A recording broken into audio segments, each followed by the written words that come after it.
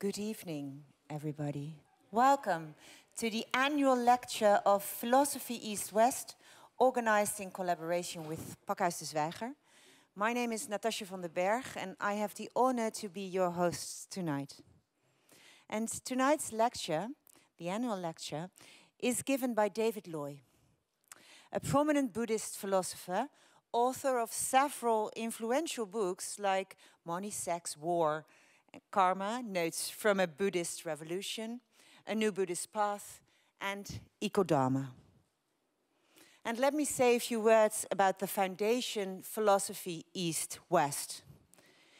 It is dedicated to promoting and developing philosophizing across borders, to introduce and share traditions of philosophy movements from all over the world and explore the connections with Western thinking. Philosophy East West organizes seminars, reading groups, workshops for high school teachers, meetings, and of course, this annual lecture. And there is also a podcast, which is only in Dutch. It's called Lijfspraak. Yeah, the translation is really strange because it would be something like The Body Talks or something. Uh, but you can, if you, if you are able to speak Dutch, you can listen to it. And if you want to know more about what the activities of these foundations are, you can register, register yourself for the mailing list or speak to after this event. Uh, Wiebe, where are you? In the front row. Wiebe, you have to stand up so everybody can see you. This is Wiebe. Uh, and next to him is Ferial Sachi. Next and you can talk to them uh, if they want know, to know more about the foundation. Okay.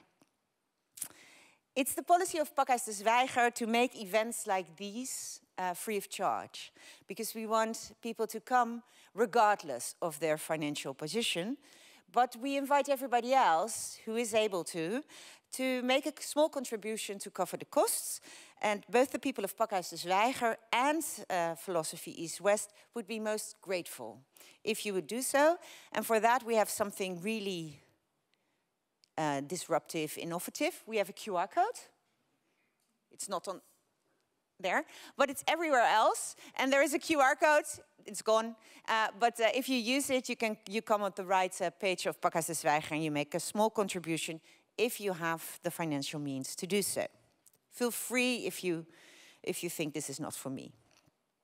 Okay. And now, um, let's start the evening. And in the spirit of Buddhism, we start with a brief meditation. The purpose is to come to rest and find peace of mind.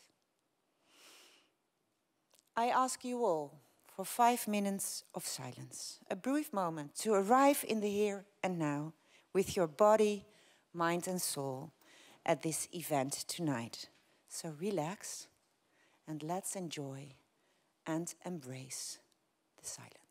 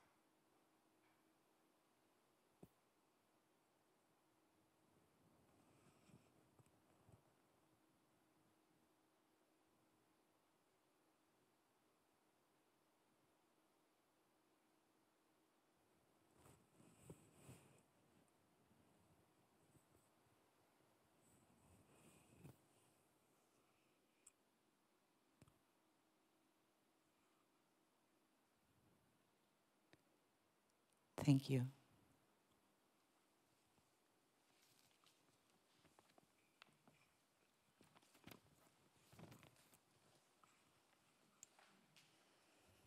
Please join me in welcoming to the stage the lecturer of tonight. Give him a warm welcome here in Amsterdam.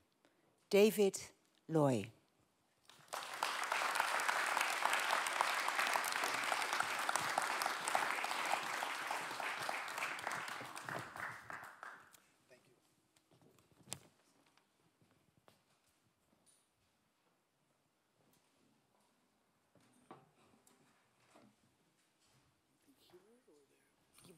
Where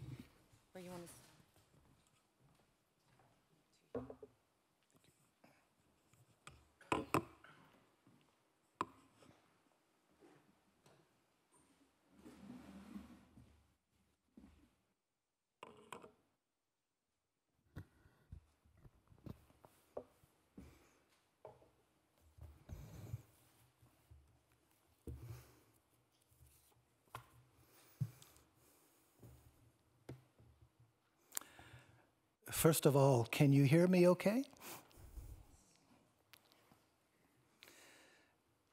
Let me begin by thanking the Institute for the honor of this invitation.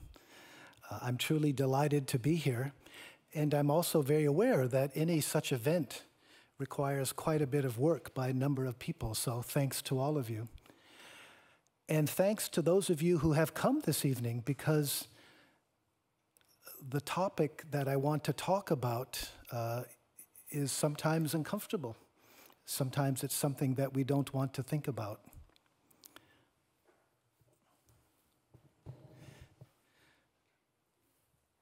Also, there may be some ambiguity about what I am going to talk about, uh, because you may have noticed that the title is somewhat different than the description. Did anybody notice that? Yes? So, what I will be talking about is eco-dharma. That is to say, a, I, will, I will be offering a Buddhist perspective on the ecological crisis.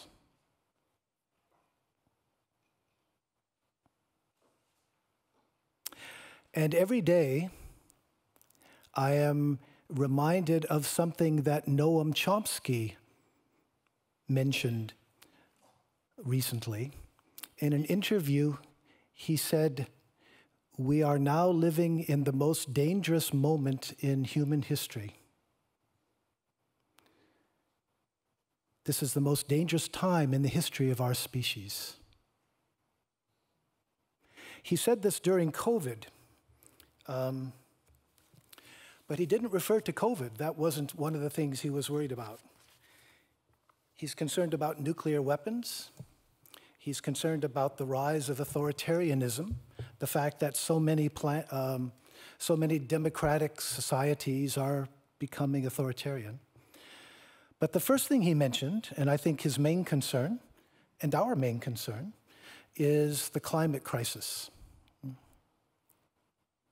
Actually, I don't like to talk about the climate because it seems to me it's really just the tip of an iceberg so often when people talk about climate, uh, they think that if we can just shift away from fossil fuels to renewable sources of energy, if we can do it quickly enough, then our civilization can go on as it has been. And as you may already know, something like that really isn't possible. The crisis we are facing is much deeper. Ecologically, we also have, for example, loss of biodiversity, the fact that so many plant and animal species are disappearing. Uh, there are so many types of pollution uh, in the water, in the sea, uh, in the land, in our bodies. Uh, topsoil in many agricultural regions is disappearing, it's being eroded away, and so forth. You can probably add your own concern to this list. But basically, what it means is we have a crisis. There's a crisis in our civilization's relationship to the natural world.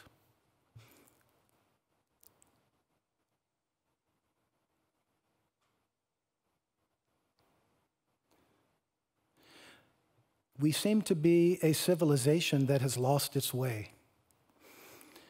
And there's a certain kind of irony in the fact that just when we have sort of achieved a truly global civilization, our civilization seems to be self destructing.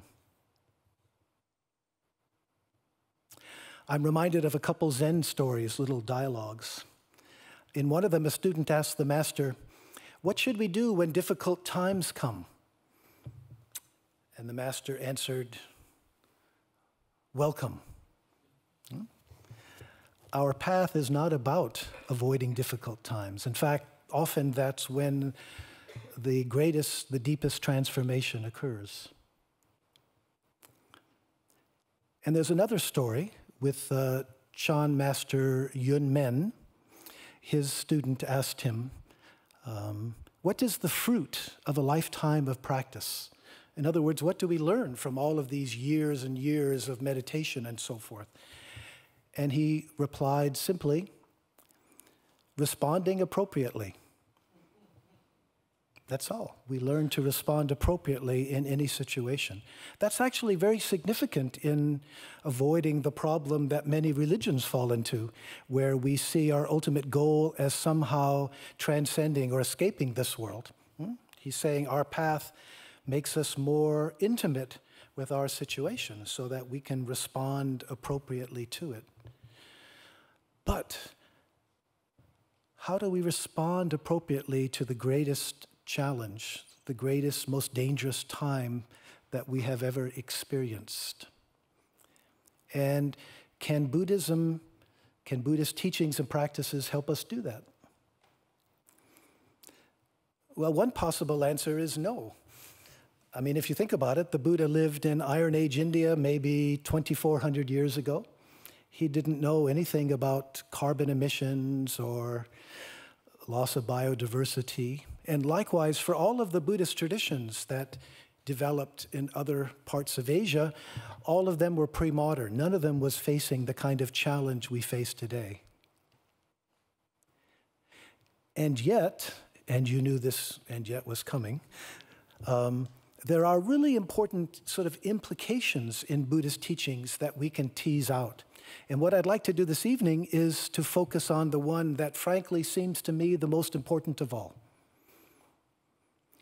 It's what we call the Bodhisattva path. And maybe I can do a little reality check here. Can I ask how many of you are familiar with the concept of the Bodhisattva path? Thank you, that's helpful to me. Basically, in, in Buddhism, it's the idea that the goal of our practice is not simply our own enlightenment, our own awakening, but that ultimately the goal is to help everyone else awaken as well. So, what I'd like to do is focus on three aspects of that bodhisattva path. And I want to call it the new bodhisattva path because, as you will see, I think that we need to understand it in a somewhat different way. And in fact, some people now are talking about the ecosattva path, focusing on the response to the ecological crisis. The first aspect I would like to talk about is the fact that bodhisattvas always have a double practice. It's like the two sides of a coin, or I guess the two sides of a hand. On the one hand, they continue to work on their own personal spiritual development. That is to say, if it's probably some form of meditation or mindfulness. Uh, there's a great variety of practices in the different Buddhist traditions, but they know that that's insufficient. In addition to that focus on their own spiritual development, they also are socially engaged. They realize that it's really important to be out there, hmm, helping other people. And it's not simply a matter that those two practices go well together. What I want to emphasize is, in fact, they depend on each other to be as successful as we need them to be. For example, I'm familiar, and maybe you're familiar with some social or ecological activists. And it's a, it's a very difficult path, uh, very frustrating because many times you are not as successful as you would like to be. Sometimes it's very hard to avoid burnout, anger. So, how wonderful it can be if you can ground your ecological engagement in some kind of practice that helps provide a sort of stable foundation that gives you equanimity, serenity of the sort that we were, the, the quietness, the stillness that we were cultivating for the five minutes at the beginning here. This can be really important for activists to help them cope with, I think, what is really a very difficult role. But it also works the other way around. In a kind of interesting way, because if we think about why we come to Buddhist practice, almost always it's because there's something wrong with our lives, there's something missing, something isn't quite right, something isn't working. And we realize that we sort of need to go within to find out what that is and to transform ourselves. I mean, why else would we spend all of this time, energy, money sitting on our bottoms, uh, sore legs, sore backs, et cetera, et cetera? So, inevitably, at the beginning, there's a certain kind of self preoccupation, which is natural. We want to resolve this personal problem. But here's the interesting thing as we continue our Buddhist practice, what we start to realize is that at the heart, at the core of our problem, is our own self preoccupation. The delusion, as we say, the delusion of a sense of self that is separate from other people, whose well being is separate from the well being of other people. In other words, as we practice, there's slowly this realization that focusing on my own enlightenment is, or my own peace of mind, uh, at a certain point, we realize that's part of the problem. That we need to become engaged because that's how we become less self preoccupied. I remember when I started Zen practice many years ago, uh, it was in a rather unconventional Zen center in Hawaii. Uh, and it was quite, quite wonderful. We, we sat very hard. Uh, we did a lot of meditation. And what you might call openings, insights, tiny glimpses of enlightenment. They were not that uncommon. But what I realized, and what I think just about everyone realized, was that that was not so difficult, but what was more challenging was integrating that into how we actually live in the world, how we actually engage with other people. I'm reminded of something Ram Dass um, said. So, you think you're enlightened, huh? Well, go spend the holidays with your relatives.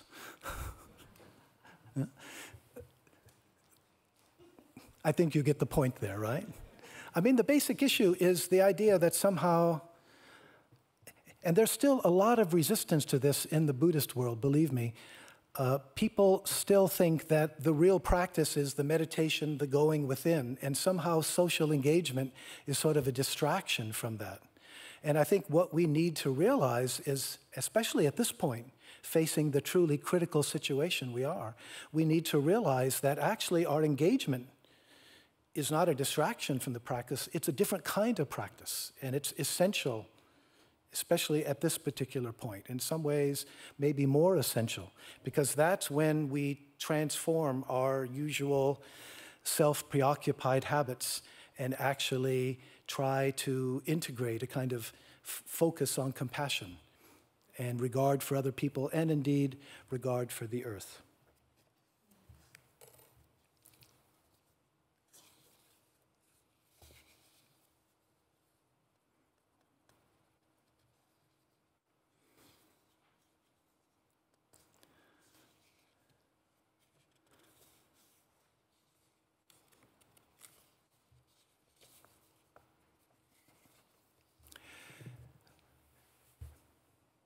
Within the Buddhist world, and maybe I shouldn't presume this is the case here in, in the Netherlands, but certainly in, in the United States, there's, I think we sometimes have a kind of romantic myth about practice.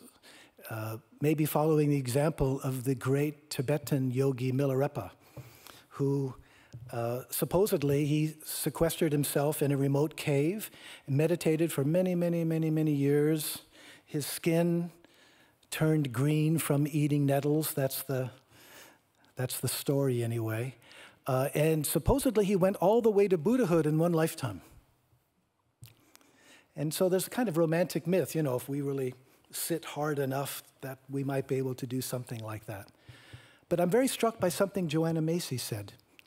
She said, The world has a role to play in our awakening.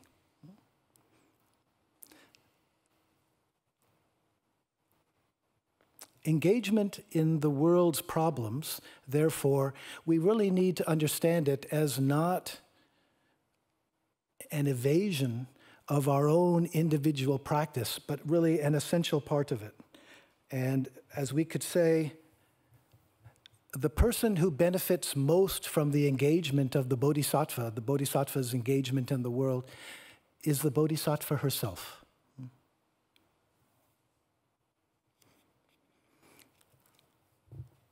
And as one of the great Japanese Buddhist teachers, uh, Kukai, also known as Kobo Daishi, uh, he said, The measure of our enlightenment is how we serve others. And this really fits in very well with one of my all time favorite quotations, actually, not by a Buddhist, but by a Vedanta teacher from India, Nisargadatta. He really summed it up so beautifully when he said, When I look inside and see that I am nothing, that's wisdom. When I look outside and see that I am everything, that's love. Between these two, my life flows. Isn't that lovely? Yeah. Wisdom and love, or as we more often say in Buddhism, wisdom and compassion, the two pillars of the Buddhist path. And he shows the relationship between them. Hmm? Wisdom is the realization of our non duality, our non separation from other people. And love, it's not a, a, feeling, but it's a way of being, it's a way of engaging with people that integrates that wisdom, that insight into how we actually live in the world.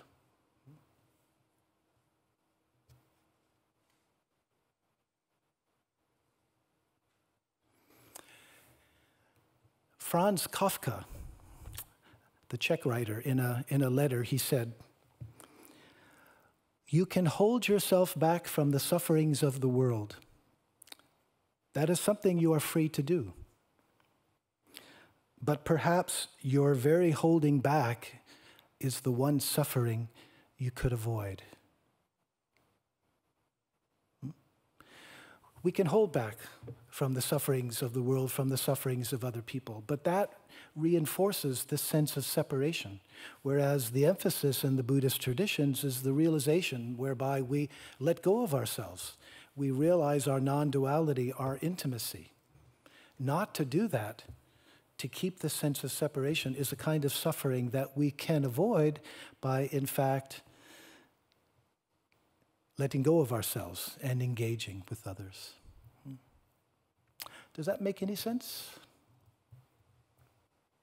That's the first point I want to make the emphasis on the double practice of a bodhisattva, the fact that they have their own meditation, whatever that may be, but they also see that the engagement in the world is essential to their own transformation. And I think if Chomsky is right, and I think he is, that this is the most dangerous moment in human history, clearly we need a practice, we need a path that emphasizes engagement with it.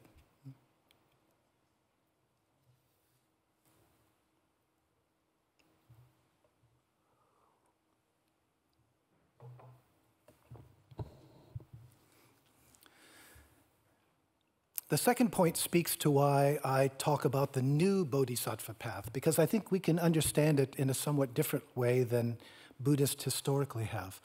I think we can understand, in particular, what the problem is, right? For Buddhism, the most important concept of all is dukkha, which we usually translate into English as suffering.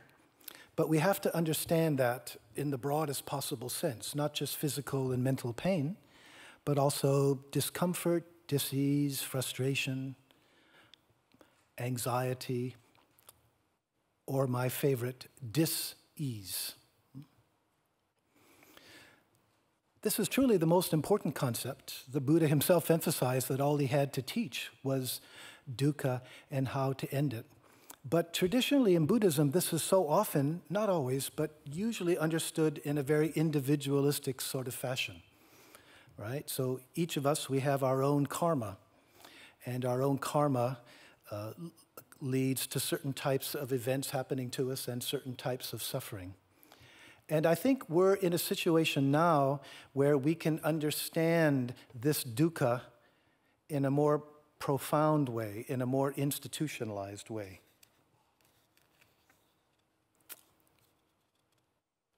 Another way to say it is that, according to Buddhism, uh, the problems occur when we are motivated by what are called the three poisons greed, ill will, delusion.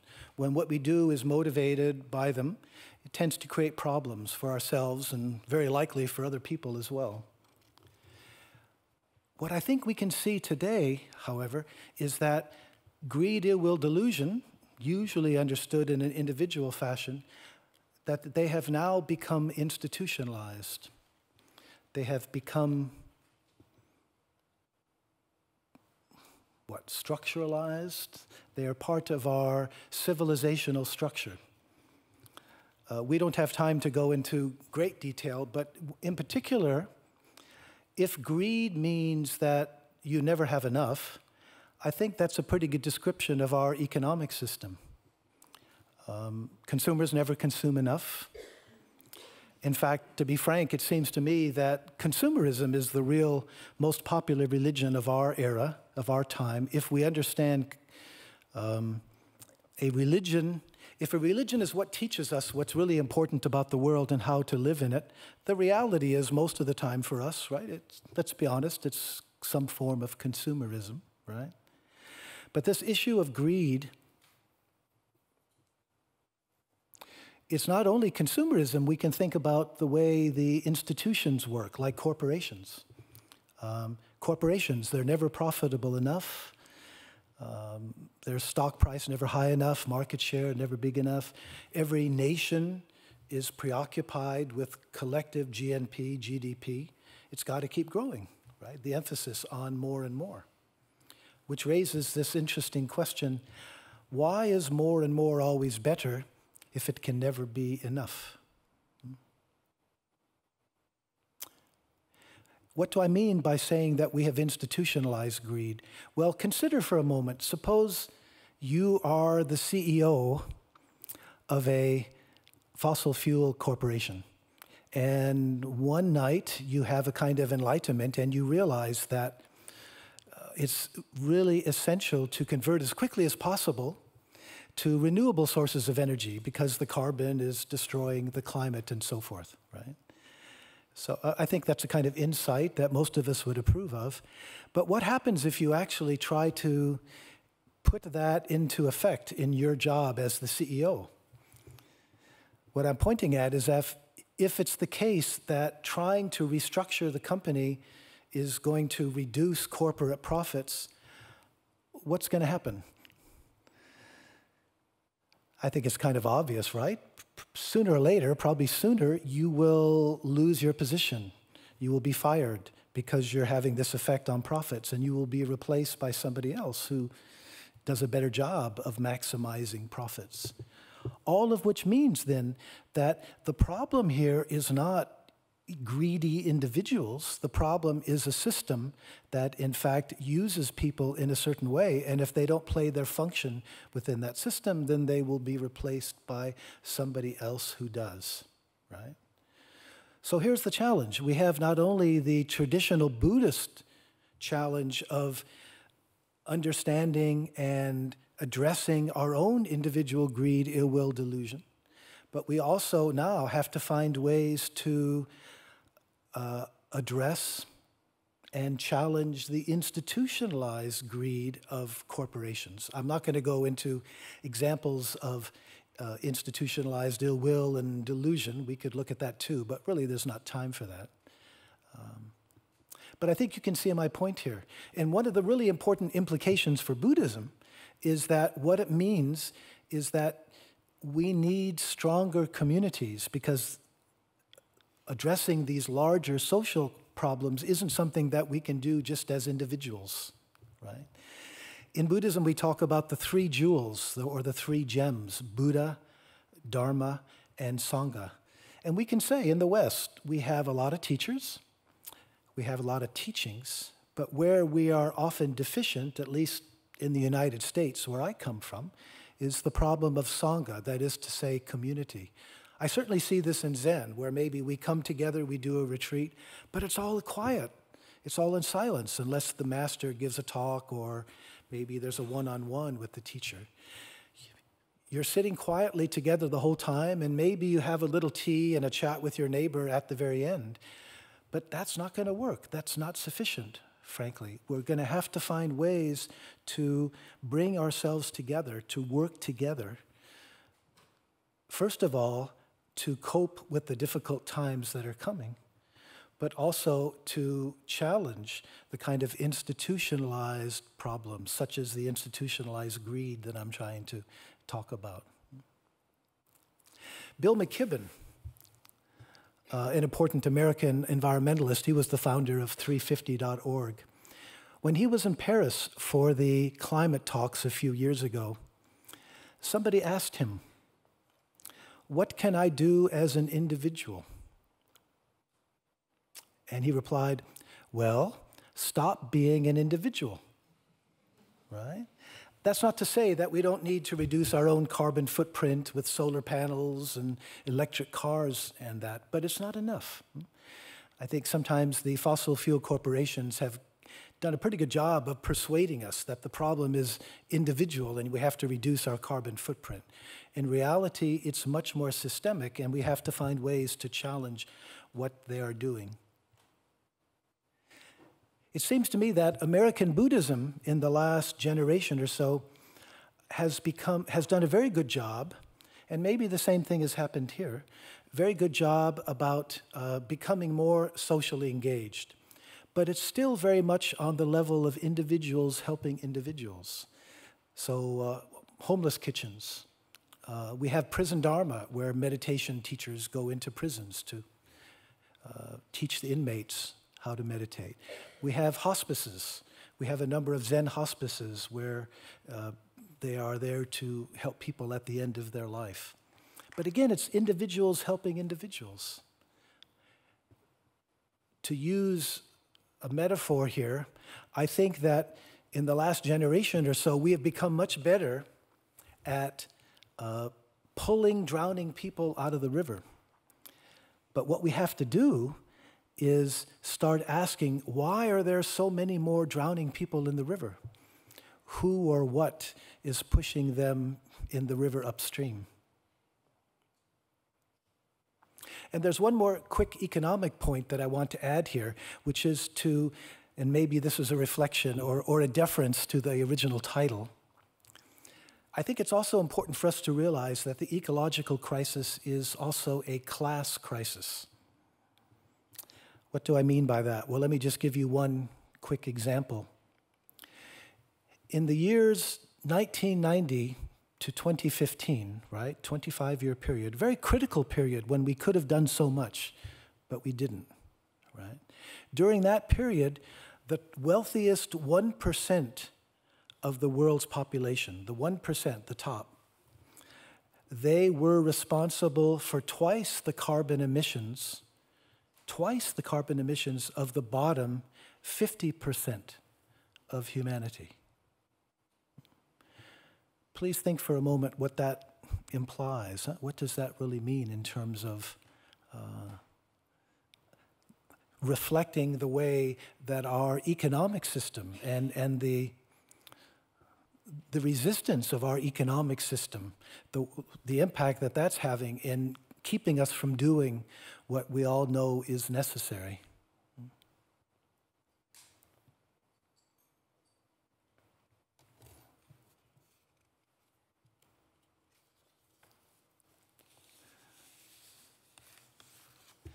That's the second point.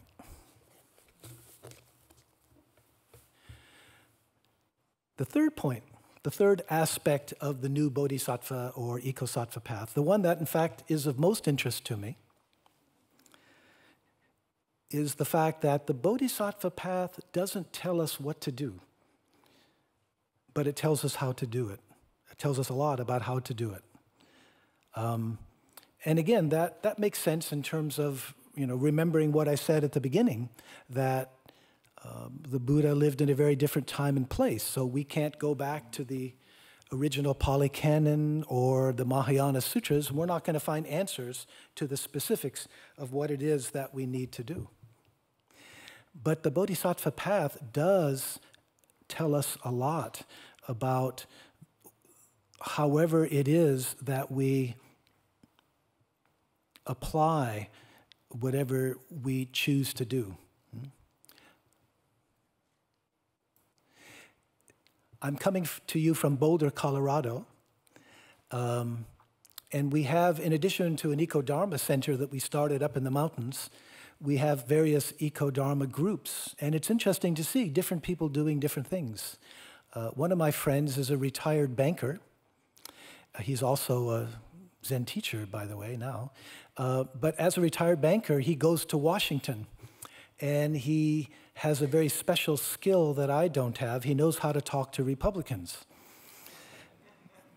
And I think he's quite good at it, you know, and he works, he lobbies for a carbon tax. Um, other people, I have one of my Eco-Dharma friends who, when, when my wife and I bought a new house, they helped us do an energy audit and solar panels and that sort of thing. Um, in my own case, I have a bit of a background as a kind of um, well, when I was young, I was an anti Vietnam activist. Um, so I have some fondness for nonviolent civil disobedience. And I have to say, I've rather enjoyed chaining myself to the front of a bank uh, that is funding fossil fuel corporations and, and that sort of thing. As a member of Extinction Rebellion, we also blockaded a road. Well, that was maybe less, uh, less successful. But the fundamental idea that nonviolent uh, action can be, I mean, I think that there, there's a real point to that in certain contexts. And so we can ask, which of those is a Buddhist activity? I think all of them, and no doubt many others as well, but Buddhism doesn't really give us the specifics. And indeed, I think, given our unique situation, it may well be that each of us individually has to decide for ourselves, work that out. But what I want to focus on and end on is one particular aspect of bodhisattva engagement, which I think is absolutely essential, but also very easy to misunderstand. Bodhisattvas act without attachment to the results of their actions. They act without attachment.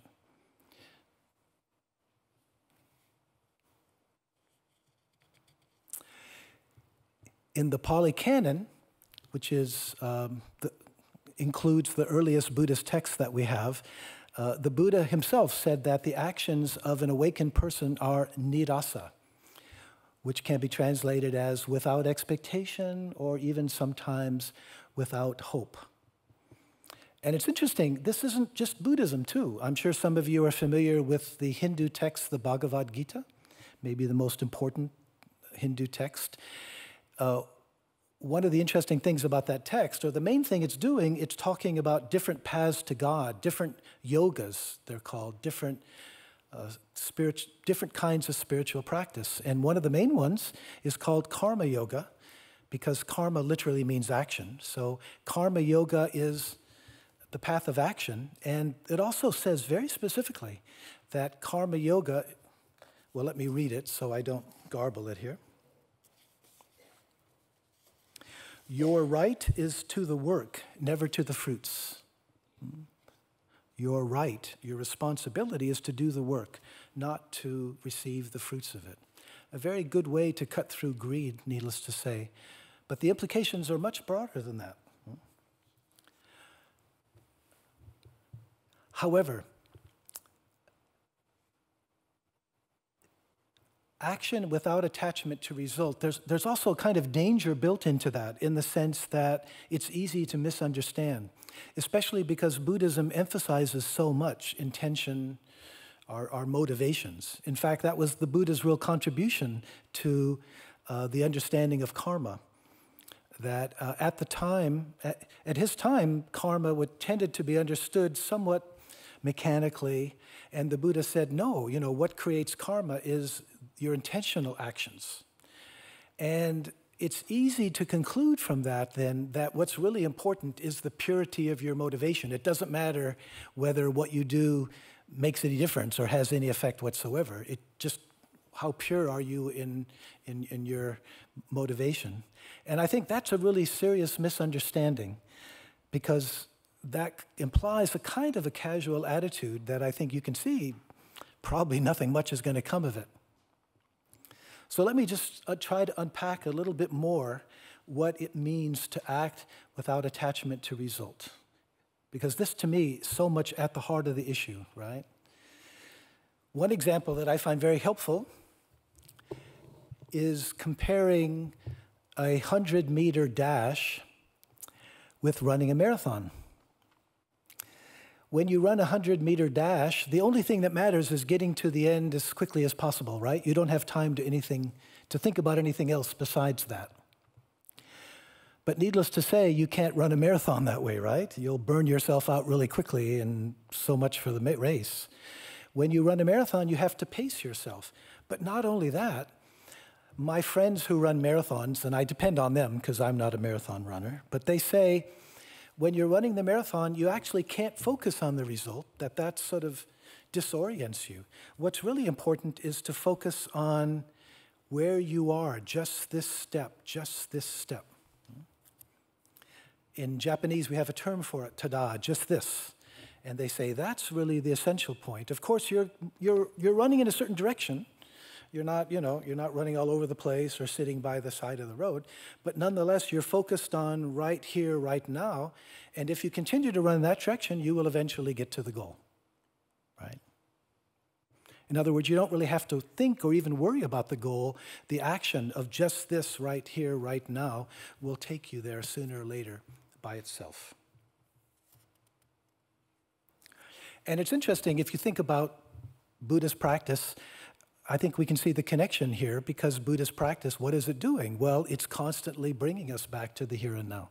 So we're not off fantasizing about where we want to be or what's going to happen in the future.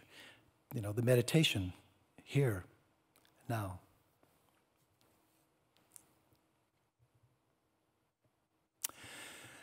But what about a practice that's, or what about a race that has no end? I'm thinking in particular uh, about a certain kind of orientation. In Zen tradition, uh, in all the zendos that I've practiced in, uh, every day, at least once a day, we would recite what are called the, uh, the, the Bodhisattva vows. And the first of which says, Living beings are numberless, I vow to save them all. If you think about that a little bit, it's kind of odd. We are promising to do something that we can't possibly achieve.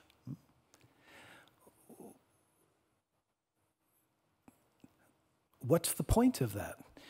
The point is the fact that it's not, again, it's not about attachment to results. It's not about attaining a particular goal. What's important is a reorientation in the meaning of my life away from our usual preoccupation with what's in it for me to what can I do to make the world a better place for all of us? That the vow cannot be fulfilled is exactly the point, you see.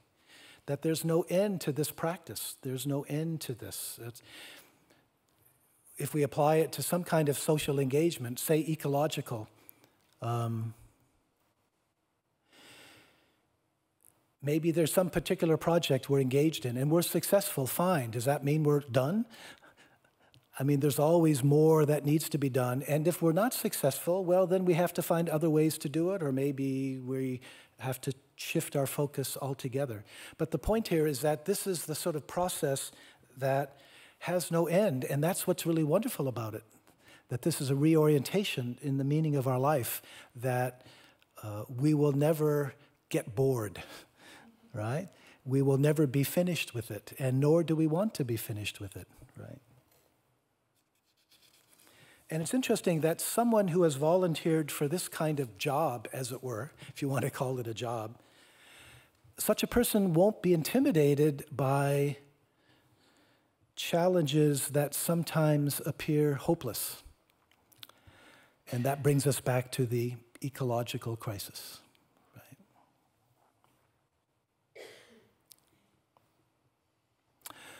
Let's be honest.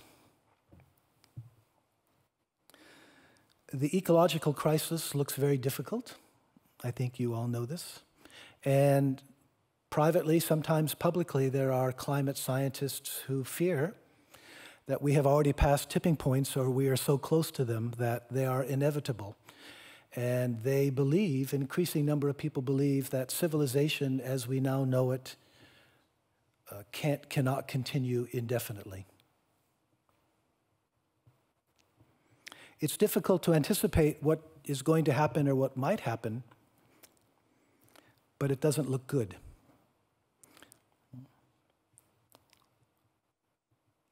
When it comes to the future, we can see certain factors that make us very concerned, but we don't know how they're going to play out.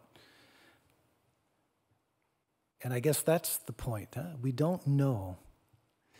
We just don't know. The irony is that in Buddhism, and especially emphasized in Zen, don't know mind is something really important.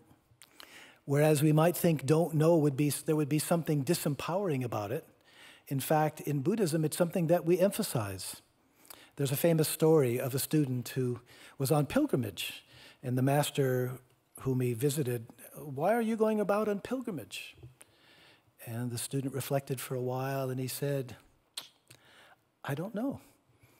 And the master said, Ah, not knowing is most intimate.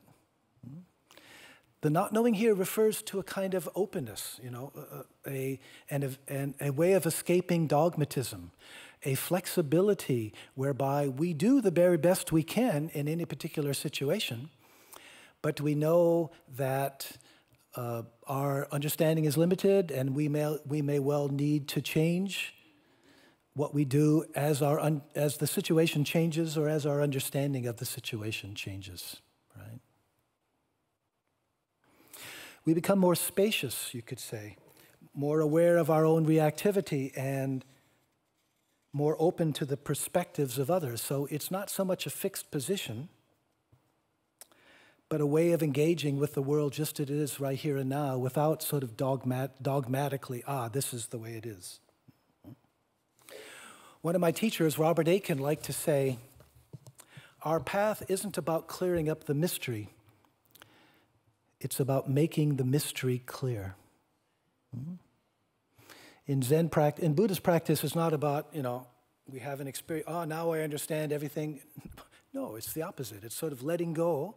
And in a way, the mystery is clear. And it, you could say the mystery takes us. We open up to this, something beyond what we can understand conceptually, something that we never grasp, but something that grasps us. Hmm. When we apply this to ecological activism, I think it's really important to emphasize that this implies avoiding the common dualisms that we tend to fall into when we think about the ecological situation. I'm thinking of optimism, pessimism, right? Or even better examples, hope and despair. It's interesting that these are dualisms where you, they always come together. You can't have one without the other. As I like to say about optimism or pessimism, a pessimist is somebody who has had to live with an optimist. You know, and even more so with hope and despair, they feed on each other. You can say each is the denial of the other.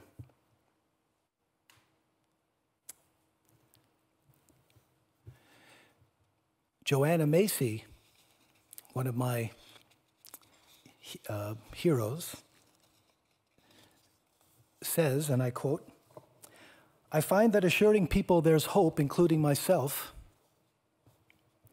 is not all that useful. In Buddhism, there's no word for hope. I think what she's really referring to there is if you read the Buddha Sutras, they don't talk about hope. Hope isn't the issue. Hope would be viewed as a distraction from what's at hand. It takes you out of the present moment and into conjecture. I think all we can really affirm is where we want to put our attention. We have a choice. Do we want to give up and surrender to the great unraveling? Or do we want to join those working for a livable future? Since the outcome is uncertain, I'm still quoting Joanna here, we have to enjoy doing something exhilarating and useful without knowing for sure if it's going to work out.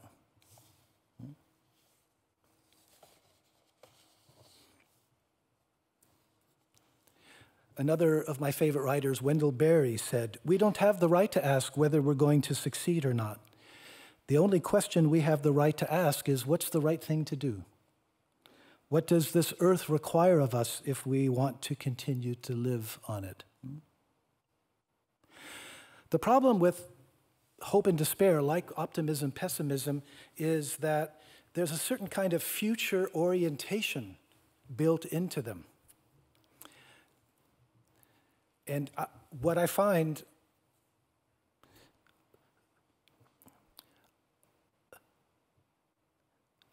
I'm one of the members of this new Eco Dharma Center we have in Colorado, and we teach Eco Dharma retreats. And what we really find is essential, and to be honest, I think it's true for all of us, it's so important to distinguish despair from grief. Hmm? Despair is a head trip. What's going to happen, what isn't going to happen. Grief is something we feel right here and now, and indeed, we need to feel it. I think often we're afraid to feel our grief because we fear we're going to be kind of blown away by it. But I'm reminded of a monument in downtown London that I came across, a monument to 9 11. And all it said very simply is grief is the price we pay for love. Grief, too, has a pair, and it's love. And if we repress our grief, what we find is, in a way, we're repressing our love. And it's really essential then, and an essential part of our Eco-Dharma retreats. At a certain point, we share, we share our grief and anger and fear about what's happening, right? I think all of this points to the deepest meaning of non-attachment to results, of don't know mind in a world in crisis. And simply, it comes down to this, I think. Our task is to do the very best we can, not knowing if anything we do is going to make any difference whatsoever. Have we already passed ecological turning points and civilization as we know it is doomed? We don't know. But the fact that we don't know is okay. Of course, there's intention we are strategic. We try to do the very best we can, but we cannot control the result. And one way to say it is that what we do ecologically, hmm, to address the ecological crisis, what we do is our gift to the earth. And like any other gift, if we give a gift because we expect something in return, is that really a gift? A gift is given freely without attachment. And that's the challenge to our engagement, whether we can learn to do that. We don't know if what we do is important, but it is very important for us to do it. And in part because it's part of our own personal practice of individual transformation.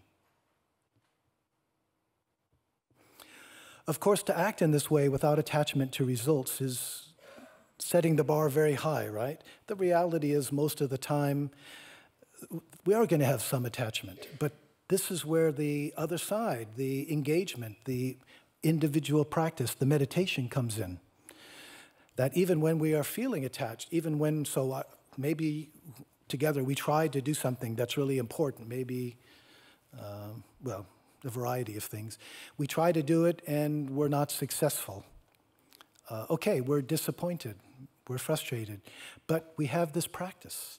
We can go back to the practice. The practice encourages us to let go, let go of this individual disappointment, but also in the larger context of the Bodhisattva vow that we continue to do the best we can forever. That's just the way it is. That's how we want to live.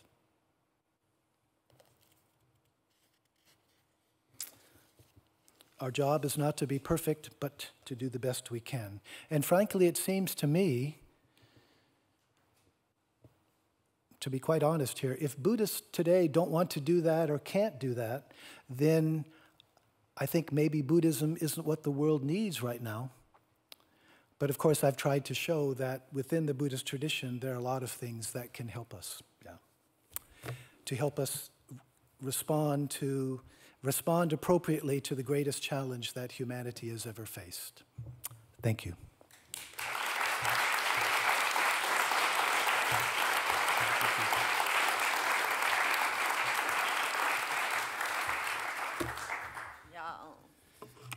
Thank you. Um, so, uh, thank you so much for this lecture. Um, for the coming half hour, uh, we would like to uh, invite two people to the stage to actually reflect on your lecture um, and have some, I'm very curious, reflections and some questions perhaps, some, some comments.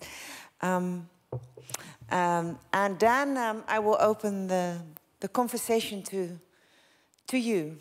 And please share your thoughts, questions. I mean, uh, uh I was sitting in the front row and somebody said, this is one of the best teachers in the world. So there's a teacher in the room and you can ask him anything. So use that opportunity.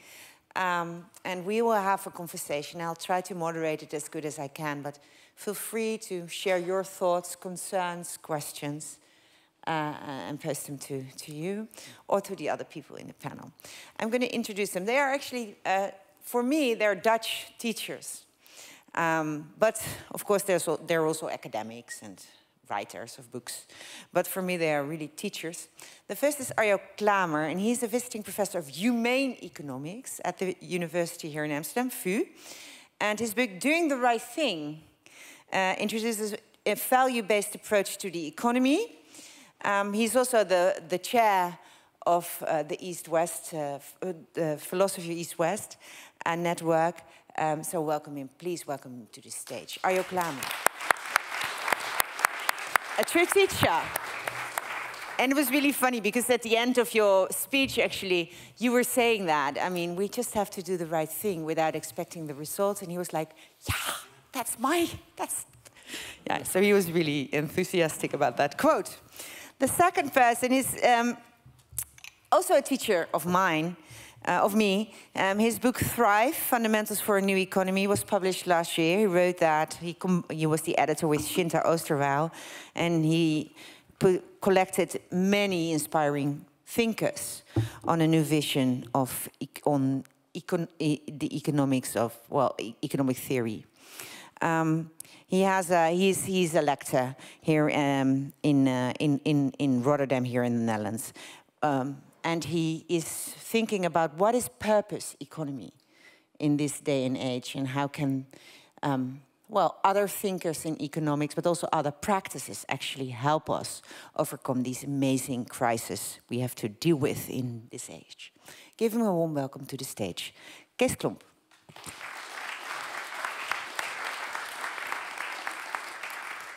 Yeah three teachers on stage. Um, Arjo, as a chair of uh, Philosophy East-West um, and a professor in humane economy. What is, what, what is humane economy? It's what uh, David is talking about.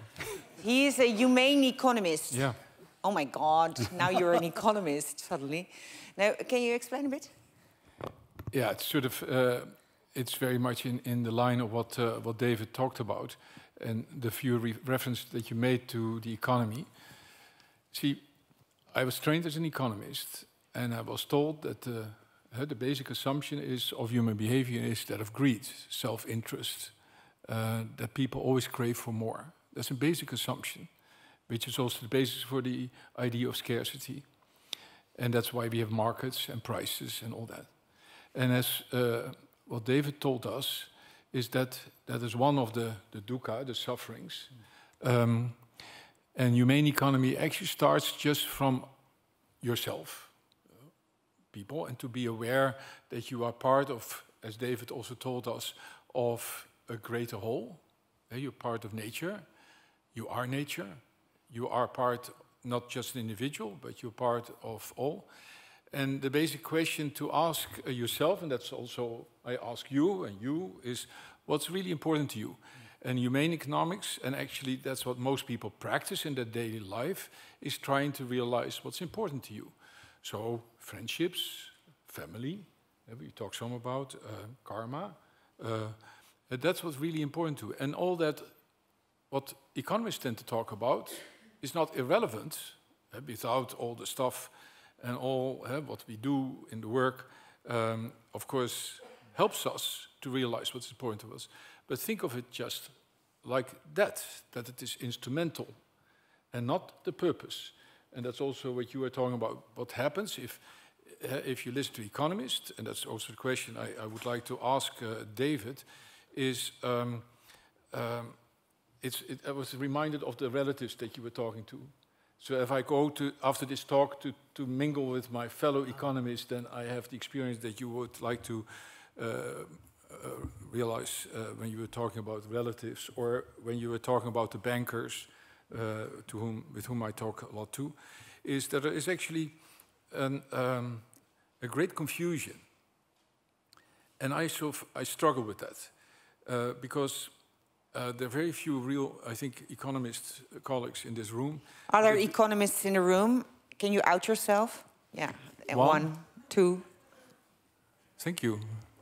Um, but that um, there is an, a real disconnect, and that's also actually um, is that that's what I struggle with.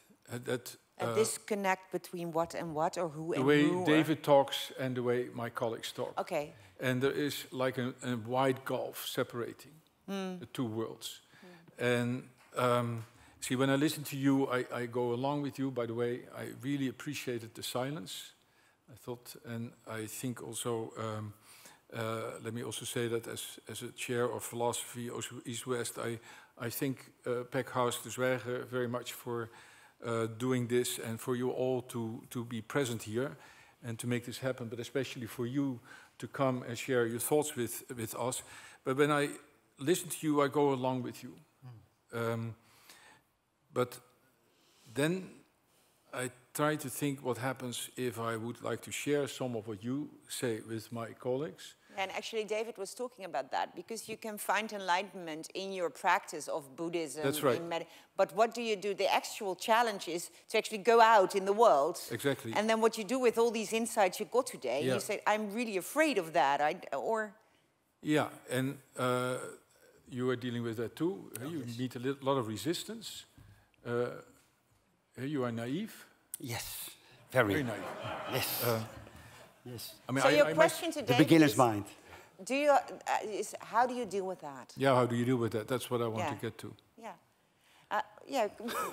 do you already have a, a, an inclination to, to, to answer that question, or do you want to? I don't think I can actually answer it, no. but I'd like to just refer to a couple factors that I think influence uh, any any answer. And one of them is just to make the point that it's from a Buddhist perspective, it's, it's important to uh, avoid the kind of duality that treats the other person as an other, as an object to be convinced. It's really important to sort of feel that, you know, it's not that I'm right and they're wrong and they have to be enlightened. It, it's much more a case of opening up to their and being empathic with their total situation. Uh, from a Buddhist perspective, there's no evil people. There's uh, delusion, but nonetheless, we all have the same, you know, Buddha nature, and that's to be respected.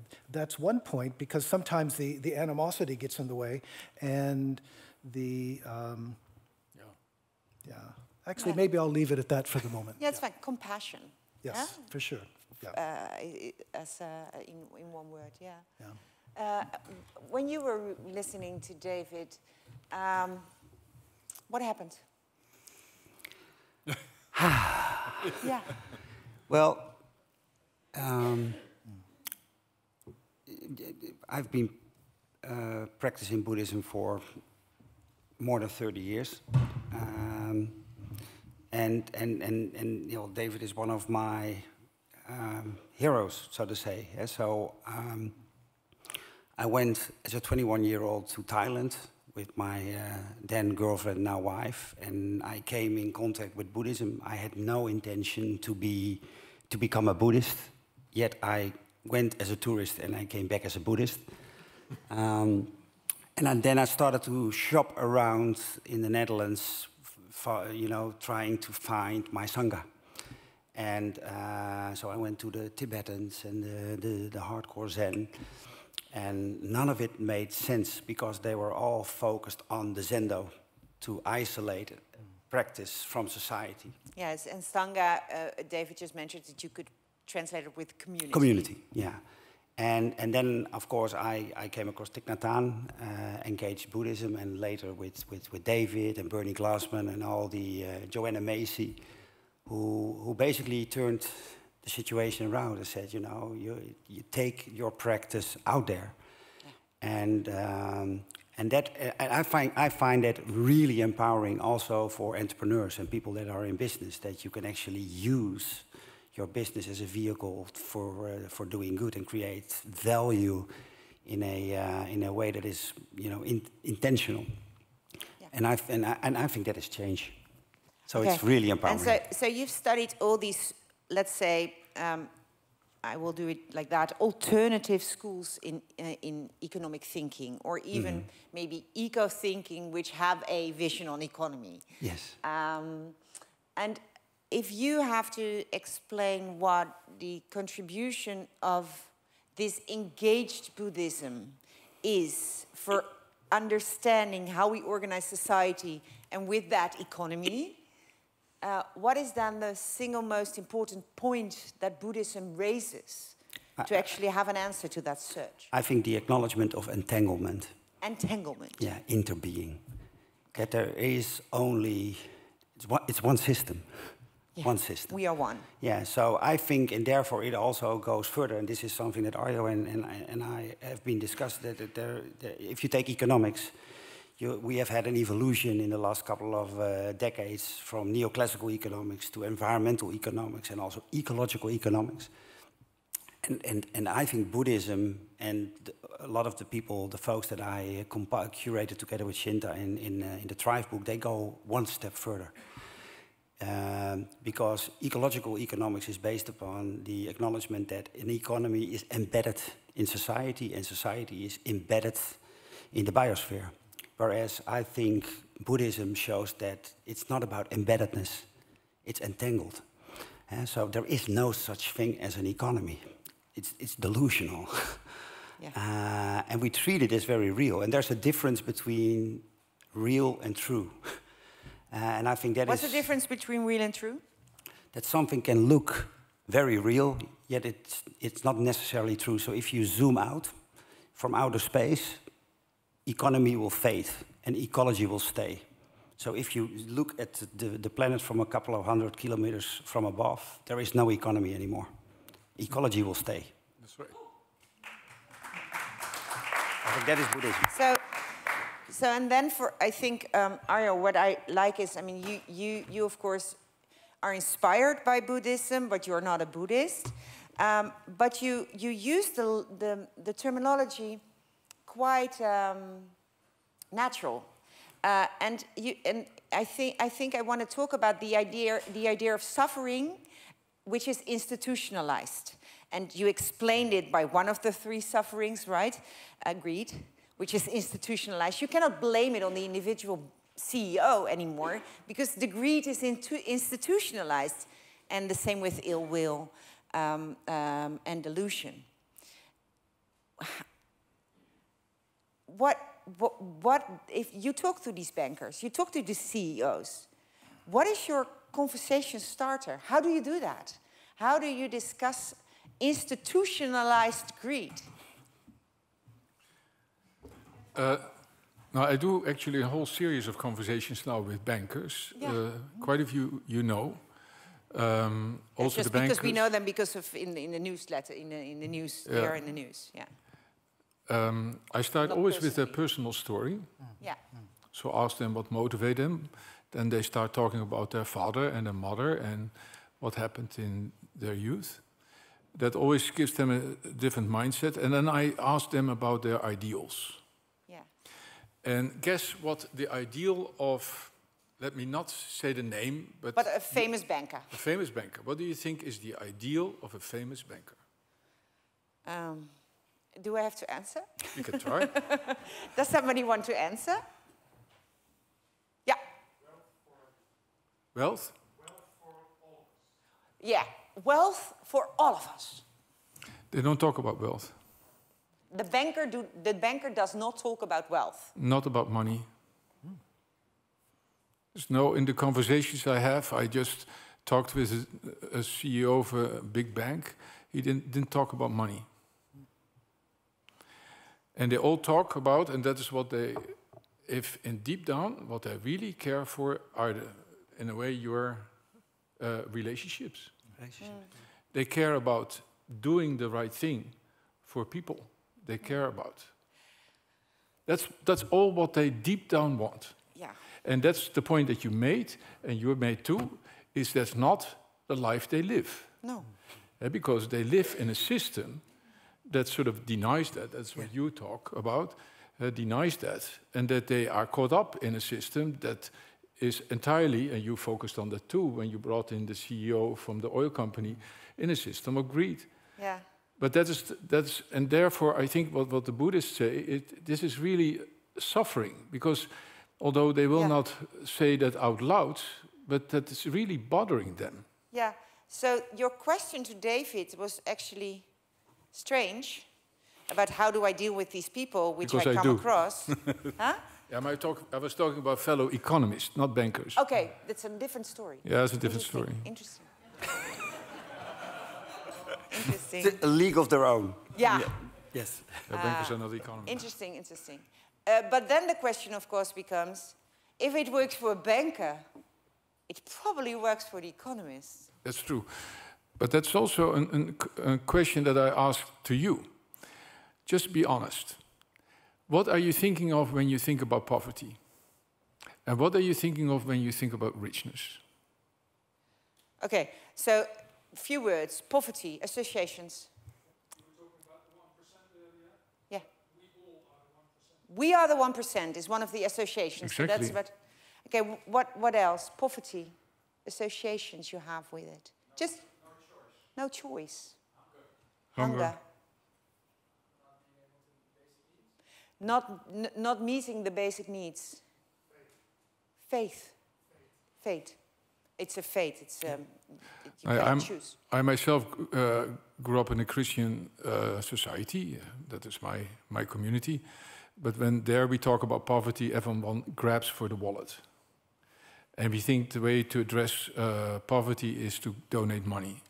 Yeah. And that people think apparently that poverty is a matter of having lack of money, and richness is having lots of money. But there we're already falling in the trap that economists have prepared for us. And I think that you're quite right uh, to imagine that the economy is a matter of having money or not having money. And I think that's your point, is that if you zoom out, or actually I also think if you zoom in, because then had the same effect, then you find out that money is not really the issue. Uh, that when you ask bankers what's really important to, to them, or even economists, that's what I like to ask economists after they have gone on about money and be, uh, uh, b- gross uh, national product and so on. They say, What's really important to you? They say all the same family, work. Um, some people say, uh, I am a a religion. And I say, Wait a minute, that's not in your equation. How come that what's important to you, you don't count as part of, of people's well being?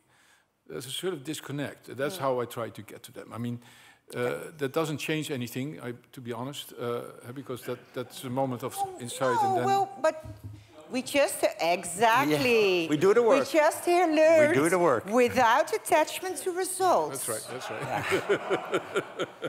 Doing the right thing Yeah. without attachment to results. There you are, I there thought are. the biggest for me was engagement without attachment. Yeah. That is a, a complex That's thing difficult. In my head.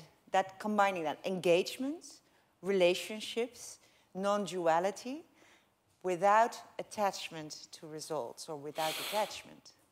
Doing, doing the right thing Yeah, without that at- Yeah. attachment. yeah. But I, it's also quite quite painful that I hated economics uh, in uh, secondary school. I, you know, it was all calculations and formulas. And then I went to the university, political science, and we got economic theory. And I had a lecturer that started to talk about Marx and, and Keynes and Adam Smith. And, and if you look at all the, the, the, the old economists, they all were, they had ideas of how a good society should look like. They're all They- humane they- economists. Yes, they are all humane economists. They, they, they, they, they, it So- was not about But I- formulas and, and measurements and No, but I'm trying to like, like, uh, uh, try to grab what we're doing at the moment. So being in the here and the now. So this work, this idea of engaged Buddhism, which you are such a articulate teacher in. Uh, so, uh, so how do you say that? So in, you use beautiful words and beautiful quotes, and you bring us to the to, to the place where you say, okay, let's try this, right? Let, let's try to use that Buddhist thought in engagement too, without results. Uh, try to solve this major ecological crisis we're in because Chomsky is right. We are, in, and then you are on the page and you're talking about economics and you have dilemmas. And I'm trying, what are we doing? What you are trying to do is get a systemic discussion on the agenda of society, of politics, of banks, of CEO tables or boardrooms, um, a systemic discussion.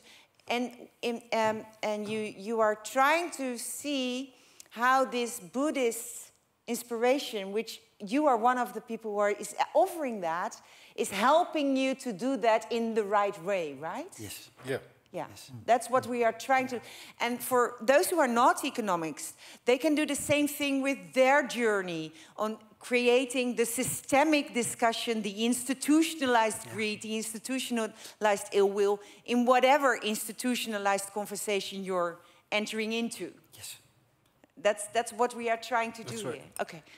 Hope that dat helped. I hope that helps. Um, ik ga, ja, ik ga, yes, thank you. I'm gonna say uh, goodbye to the people who uh, watch this uh, live cast. Um, uh, because now we are gonna give you the floor. Uh, and that is really chaotic if you're looking it from home. So we always get comments about that. It's, we can't see who's in the audience and where's the camera shot and we don't have cameras like that. So I'm going to say thank you for watching uh, to the people at home, watching it from a live cast. And we are now going to have a, well, a brainstorm, a conversation, hopefully, a meaningful conversation here with the audience in Amsterdam. Thank you so much for watching.